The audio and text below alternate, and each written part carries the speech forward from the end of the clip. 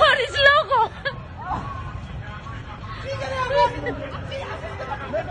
Δεν είναι δυνατόν.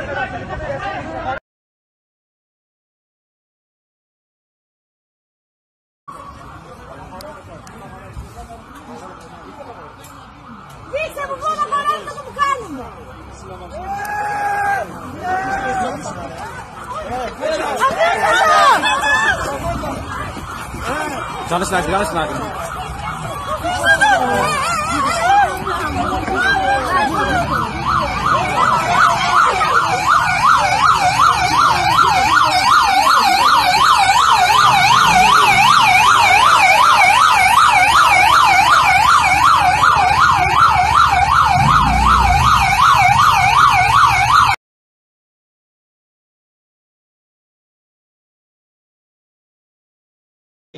Εμφανίστηκε η αστυνομία, πήγε να κόψει πρόστιμο σε μια οικογένεια με δύο παιδάκια και τρεις ε, ενήλικες που καθόντουσαν στο παγκάκι.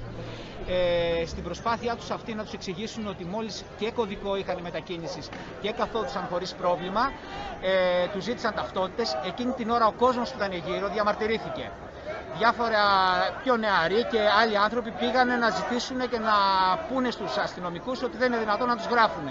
Η αστυνομία αντέδρασε με βία, άρχισε να ξυλοκοπά τον ένα, θα το δείτε στο βίντεο, είναι τρομακτικό αυτό που γίνεται. Με πτυσσόμενο γκλόπ, αστυνομικός χτυπάει ένα νεαρό, ο οποίος απλά τους είπε ότι δεν υπάρχει λόγος να γίνεται αυτός.